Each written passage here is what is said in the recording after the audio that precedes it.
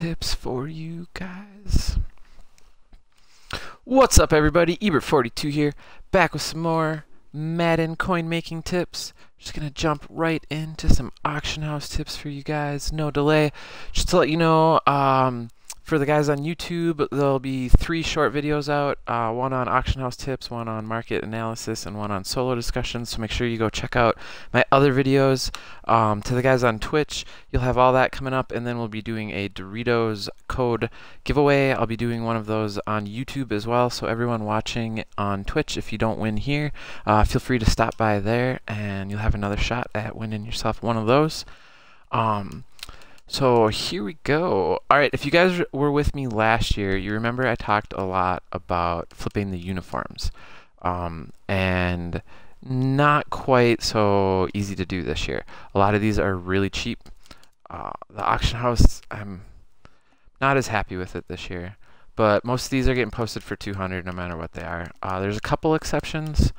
Uh, I haven't quite nailed down the uh, jersey market yet, and I'll have some more updates for you guys on that in the coming weeks.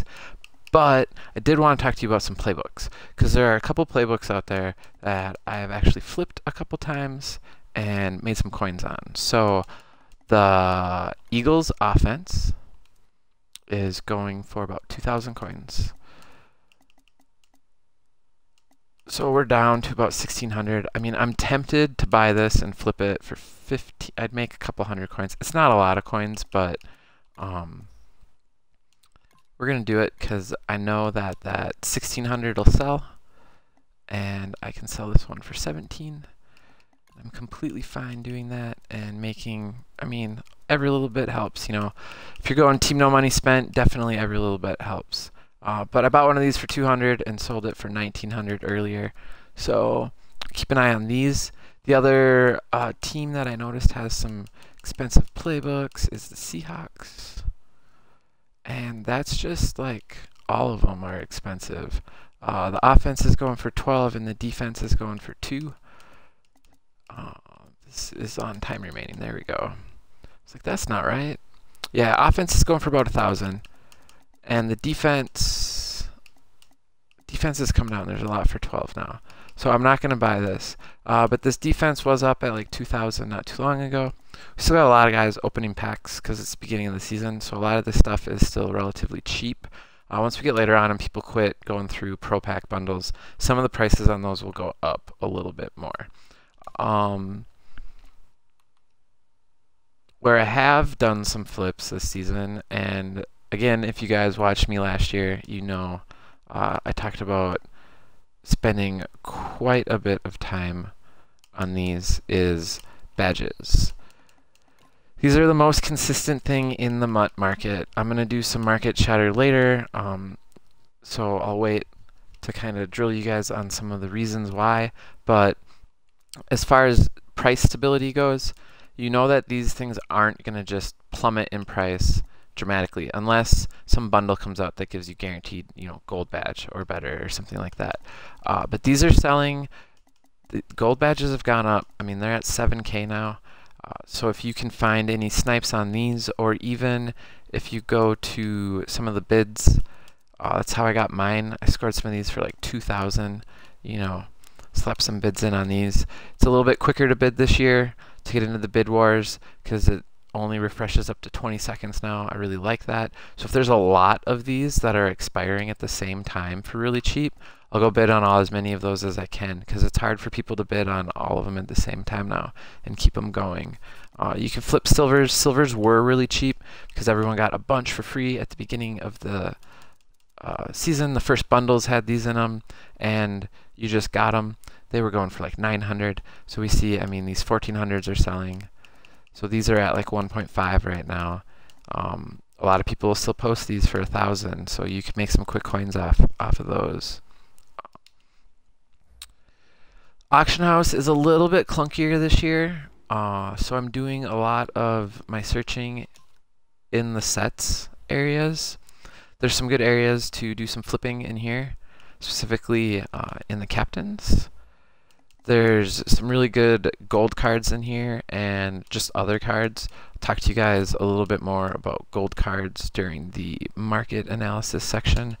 But for instance, um, these fullbacks, man, these fullbacks are going for a lot. Uh, 25, 30, somewhere in there. I see a lot of these Bruce Miller, uh, these Millers for like 25. I mean, 89 run block, 80 catch, 80, like he's that's a pretty good card. Let's be honest here.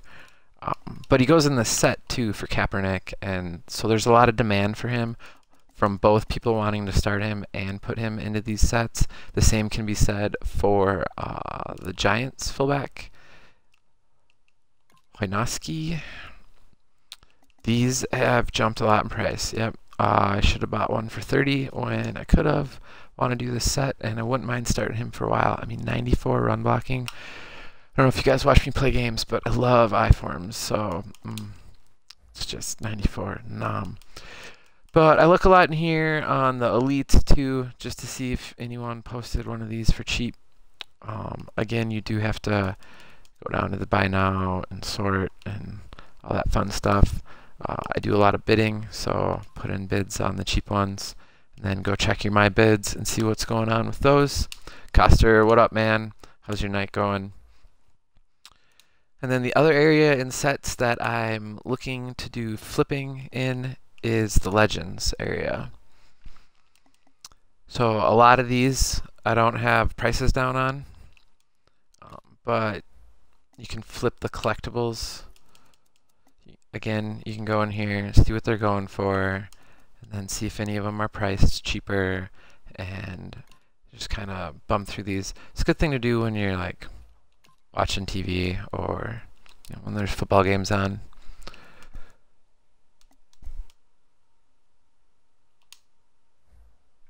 Nice, dude.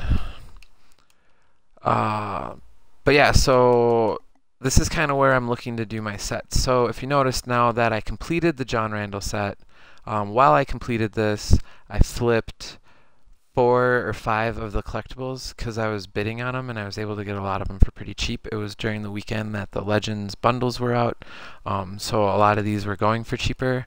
Uh, I flipped some of these Legends badges that weekend too. I was able to buy these for like 9k and get rid of them for like 14 and that's about where they're still at now.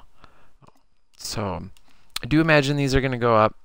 They'll probably get back up. There's still a lot on the market though, so they're not going to go up anytime soon. But when you notice that there's not like just endless amount of these, what I like to pay attention to is uh, how much time remaining you see in here when you back sort it. So go up to the top here, three hours. So we're we're not seeing anything that's more than three hours on here, which means that there's a surplus of these being posted and the prices shouldn't go up too much too quickly. Uh, that's barring, you know, they don't release some awesome legend that everyone goes after. Patriots, what up? Yeah, Twim's happening tonight. It'll be on uh, about seven to like half hour. So I'm gonna rip through some more uh, tips for you guys. So that's it on the auction house tips for week one for you guys. Again, I'll be back with some more, letting you guys know where to look in here, uh, what areas there's some good options to make some flips on. I haven't really gotten into the stars yet to know. I know there's a lot of these on the market right now because they were in uh, one of those mystery boxes. So there, you might be able to pick up some of these for cheap, but that's kind of where I'm looking, where I'm starting to look, uh, how I'm starting to investigate stuff um, on the auction house. So for the guys on YouTube, thanks for stopping by and checking out the auction house tips. Make sure you go uh, hit the like if you like the video, smash that subscribe button if you want to know I'm coming out with more content, and check out my market analysis and solo discussion videos as well. For the guys on Twitch,